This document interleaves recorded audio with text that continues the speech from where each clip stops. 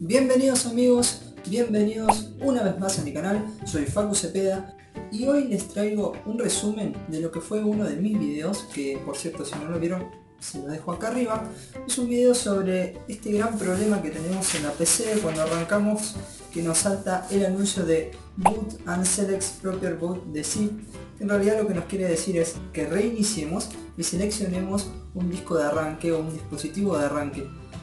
¿Qué pasa cuando nosotros no tocamos nada, no hicimos nada en nuestra PC y resulta que nos salta este anuncio?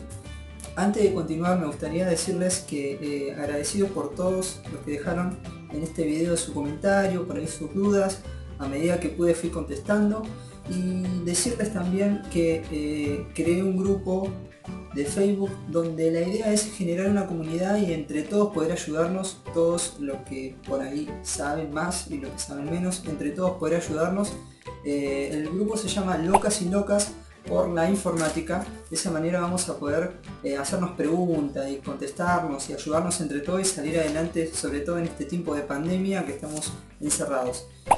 Bien, eh, voy, a, leer algunas de las preguntas y le voy a ir explicando de manera un poquito más amplia eh, cuál puede ser la posible solución a esos problemas. O sea, no tengo nada, simplemente quería hacer así como en el noticiero. El tío me pregunta, amigo, ¿qué hago si cuando inicia me sale corrigiendo disco C, fase 1 y me salen 12 horas para que termine de reparar? Antes yo lo saltaba con la barra espaciadora y ahora no me deja. Bien, Muchas veces cuando nos salta esa corrección del disco rígido, lo que tenemos que hacer es dejarlo. Simplemente dejar que Windows trate de recuperar y de corregir todas esas fases dentro del disco rígido que por ahí eh, eh, están saliendo mal.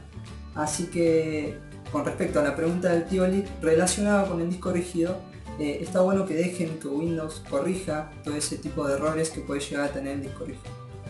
Bien, Macarena Calzón. Hola Facu, hace unos días me pasó esto, unas una o dos, tres meses, digamos, el anuncio de Reboot y mi solución era cambiar el cable SATA de lugar. ¿sí? O sea, el cable SATA que tenemos en el disco rígido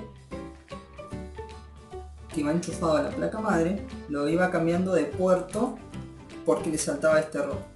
Bien, hasta hoy me funcionó eso y de repente dice que no le funcionó más.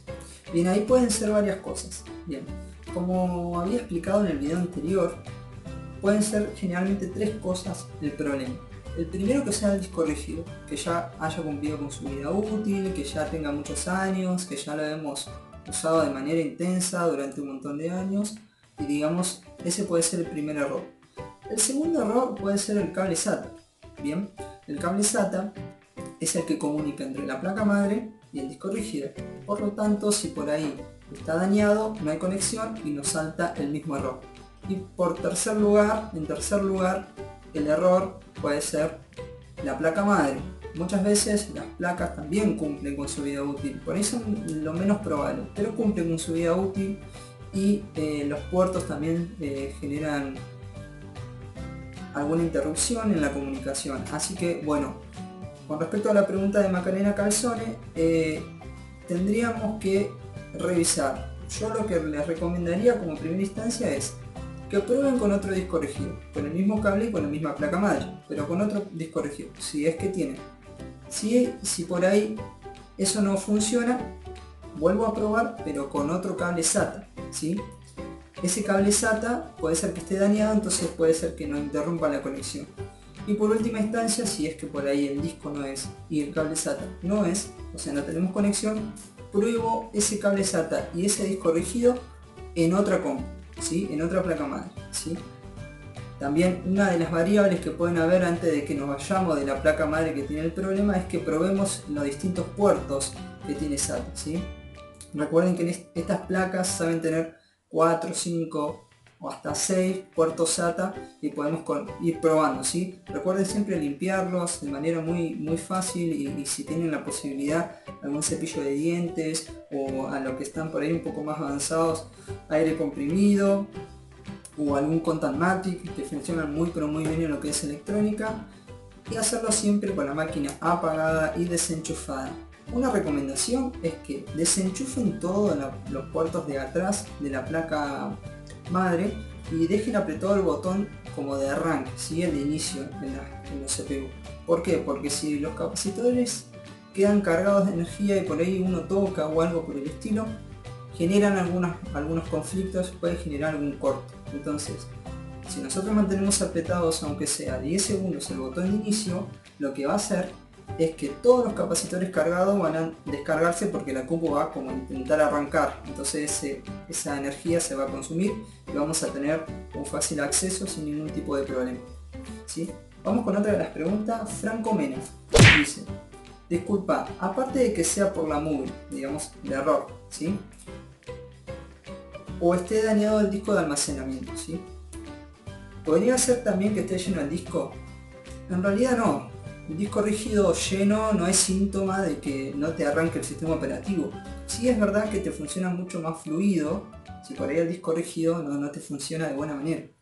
A tener en cuenta eso, corregir y si podemos vaciar el disco rígido, si podemos hacer un Scandix eh, entrando desde mi PC a mis propiedades eh, y sacando por ahí lo que no es necesario, vamos a tener un disco un poco más fluido. ¿sí? Y por último, Márquez pregunta. Había terminado de ver el video y es como que continúa la, la charla y dice, pero es que a mí me detecta los discos, pero me sale igual. ¿Por qué? O sea, le detecta el disco rígido, pero le sale el mismo anuncio. En este caso lo que en, el video anterior pueden ver toda la conversación, es un poco larga. Lo que no me trataba, lo que no me explicó Márquez es que él había comprado un disco, un disco nuevo y lo puso. Y él pensó que ya por poner el disco iba a iniciar el sistema operativo. Entonces, de manera que fuimos, fui averiguando en distintas preguntas, pude ver y decirle que le faltaba instalar el sistema operativo. Entonces, recuerden, si compran un disco hay que instalar el sistema operativo. Y si por ahí ese disco lo quieren agregar al espacio de almacenamiento en la BIOS, en la PC, tenemos que configurar que ese disco quede como secundario y el sistema, digamos, y el disco que tiene el sistema operativo ponerlo primero. ¿Sí? Para de esa manera tener que arranque el sistema operativo en el disco que tiene el sistema operativo y el otro que quede almacenamiento. ¿sí? Así que bueno amigos, esto ha sido todo. Si por ahí eh, les dejo así como para que vean esto. Tengo preparada la compu y lo voy a dejar acá para que ustedes me pregunten si por ahí alguno no sabe cómo entrar a la BIOS. Si por ahí no sabe cómo cambiar los puertos del lugar, hacemos un videito simple. Eh, probamos con otras compus que tengo también. Así que bueno, eso queda ya a elección de ustedes. Y decirle muchísimas gracias por haber dejado todas estas preguntas y bueno, espero que sigamos, se sumen al grupo, al grupo, al grupo de locas y locas por la informática y de esa manera vamos a ir resolviendo todos los problemas que nos vayan surgiendo. Así que amigos, un abrazo grande desde la Patagonia Argentina, soy Facu Cepeda y nos vemos la próxima. Chao.